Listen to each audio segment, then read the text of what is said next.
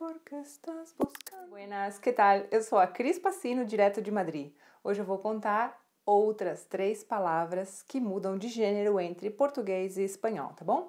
A primeira é o lixo. Nós dizemos la basura em espanhol. Hum, la basura está abaixo. O lixo está lá embaixo. Segunda, o ensino. Nós dizemos la enseñanza. Também existe la enseñanza, ok? Depende da variante que você fala. É, la enseñanza é muito importante. O ensino é muito importante.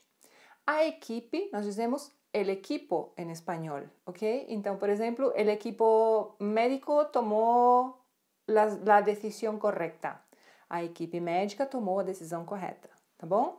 Três palavras: la basura, la enseñanza e el equipo, ok? Vou ficando por aqui, nos vemos no próximo vídeo. Tchau, tchau!